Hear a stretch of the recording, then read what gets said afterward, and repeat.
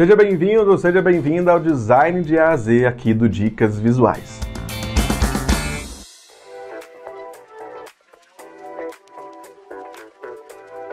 Eu gravei aqui uma série de vídeos que vão funcionar como uma espécie de dicionário visual e que vão ajudar, é claro, principalmente quem está começando agora na área do design gráfico ou então Talvez você que já está há muito tempo aí na sua área de trabalho, já conhece, né, já é um design iniciante, mas precisa confirmar alguns termos, precisa conhecer coisas novas. Talvez você não, ainda não estudou design, né? Você estudou programas. Então aqui a série Design de A a Z vai te ajudar a conhecer um mundo novo. E muito prazer, se você não me conhece, eu sou o Diego Rangel, também conhecido como o arroba Dicas Visuais aí nas redes sociais.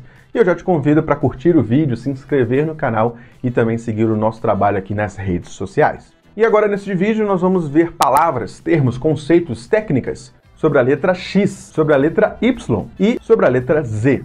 Vamos lá! Então, eu juntei aqui o X, Y, Z, até porque não tem muitos termos de cada letra, né? A letra Z aqui, pelo, pelo menos, vamos trabalhar aqui. Principalmente esses últimos dois aqui tem mais a ver com uma função necessariamente dos programas do que algo relativamente próprio do design. Mas é importante que você saiba principalmente você, se você está começando, né? Bom, esses três irmãos aqui, o X, Y, Z, eu quero trabalhar com você a ideia de posição e eixo, tá? O que, que significa isso? Para quem trabalha no Canva, infelizmente a gente não tem aqui, né, no software vetorial, uh, a gente não tem aqui, no máximo a gente tem a largura e a altura, como vimos, né? Então você vê aqui que tem L ali, ó, L604, A324. Então largura e altura. O que o X e Y não, não tem a ver com de fato, a, a, a, largura e a altura do objeto. Por exemplo, aqui no Figma, nós temos já né, um programa já que já vai ter aquele contexto de pranchetas, né? então eu posso criar vários documentos aqui, vários documentos, cada um deles vão estar aqui posicionados ah, de uma maneira diferente, seja no X, seja no Y. Então, por exemplo, eu tenho dois frames aqui no meu palco de criação, e aqui dentro, por exemplo, eu tenho ó, eu selecionei esses dois aqui, ele vai mostrar aqui os valores mi mi mixados, né, juntados aqui. Mas veja aqui, por exemplo, ó, x, y, tá? É diferente de w e h, né? Largura e altura. Então, nesse caso, o frame 2, ele está no x a 2,500, é, né? 2,511 e o y 127. Mas vamos zerar? Ó, 0 e 0. Então, aqui começa, trabalhando aqui naquela ideia da letra V, que nós vimos vetor, vetorização, Aqui começa então o nosso gráfico, né? Aqui se a gente for botar aqui, a gente começa então naquele gráfico vetorial, aquele gráfico de matemática mesmo, né? A gente tem aqui então começa aqui a trabalhar com valores positivos à direita e para baixo, valores negativos para é, cima, né? E aqui à esquerda. Então, por exemplo, ó, frame 2 eu vou botar menos, ó, menos 500. Então, ele, ou, no caso, ó, menos 500, ele vai aqui então para cá. Menos, por exemplo, menos 3.000. Então, ele vai lá para cima. Agora, 3.500. Agora, é 2, 3, 4, 5.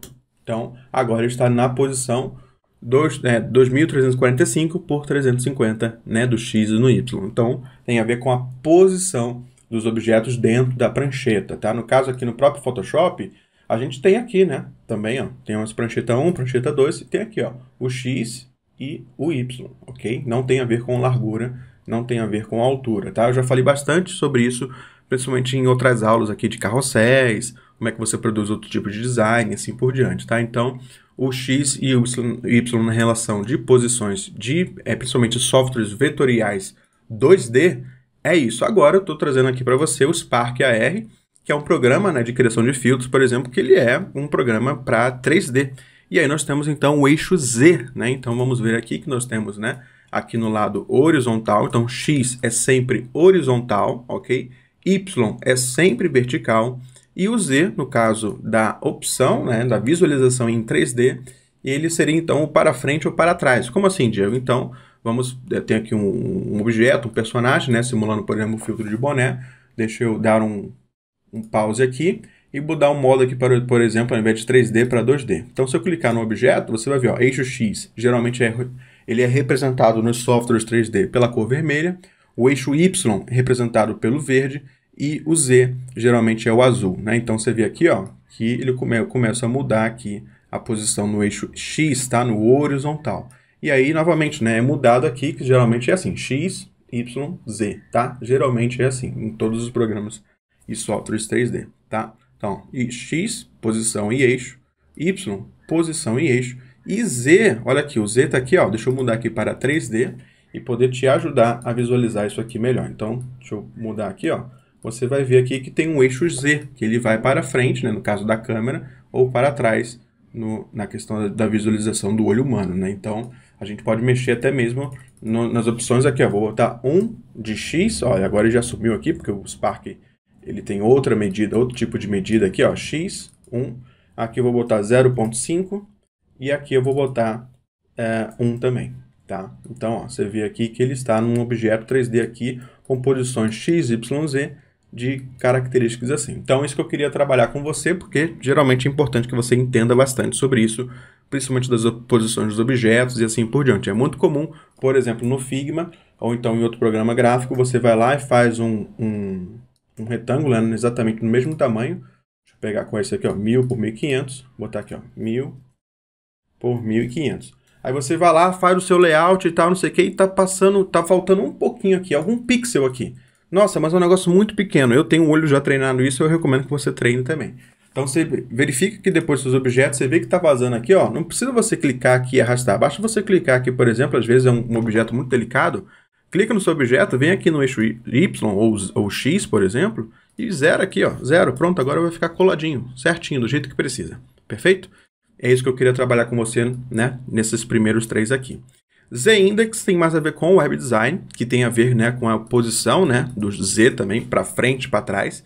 E o Z-index nada mais é do que isso aqui. Então, por exemplo, eu tenho aqui uma bola e um quadrado, sendo que o quadrado ele está com o z-index na frente do, da bola, ou seja, ele está na frente. Agora a bola está com o z-index maior. Então, no web design, como é que a gente faz, por exemplo, né? Por, por exemplo, esse objeto aqui, ó. Vou botar ele aqui como... É, eu vou botar ele aqui, esse objeto aqui para margem, vou botar aqui menos, ó, menos 40. Ó, ele está aqui com, ultrapassou ali em cima, né? Vou botar aqui no caso agora menos 70, ok? Tá vendo aqui? Agora eu vou botar que esse objeto de cima aqui, ele vai passar por cima desse. Então basta que eu venha no meu objeto, venho nas opções lá de web design, por exemplo, z-index, e vou botar aqui um z-index de 1, por exemplo, ou de 2, porque agora o objeto de baixo ficou com um z-index 1, tá? Ó, tá com 1 aqui, e agora esse de cima, ele está com um z-index 2, ou seja, 2 é maior do que 1. Então, com isso eu consigo trabalhar isso aqui. Aqui tem uma página simples, né? Mas aqui, por exemplo, uma outra página que o nosso estúdio aqui desenvolveu, e aqui você vê, né, com clareza, o Z-index sendo trabalhado, né? Esse objeto de vidro aqui, ele está por cima e acaba causando esse efeito que a gente precisa aqui. A mesma coisa esse computador, ele ficou por cima aqui do que a gente precisa.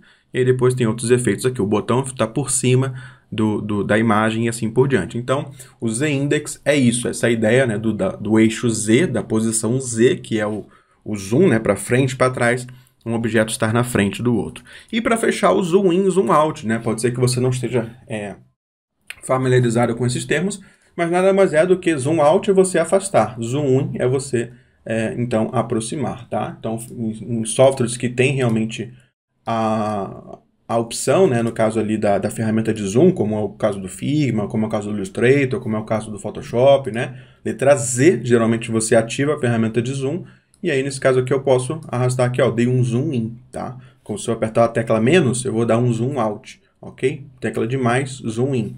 Então, geralmente é isso, onde você consegue ter essa condição, né? No caso do Photoshop aqui, novamente, letra Z, se você clica e aperta, ele vai dar zoom, né? Gradativo, assim, de uma forma bem mais delicada. Então, pode aumentar, diminuir e tal. Então, zoom in, zoom out, zoom in, zoom out. E tem ainda as opções, geralmente, em alguns programas, né? Como 100% de zoom na tela, é, preencher a tela toda, é, estar né, com os objetos aqui relacionados à tela e assim por diante. Então, zoom in, zoom out também tem a ver com os programas de edição de vídeo, onde você vai dar um zoom in ali, uma transição entre um objeto e um outro. Então, zoom in, zoom out é bastante utilizado né, nas composições de design gráfico e assim por diante. Né? Então, enfim, vale a pena você se acostumar com esses termos. Antes de acabar o vídeo, eu quero te pedir duas coisas para você fazer aqui abaixo nos comentários.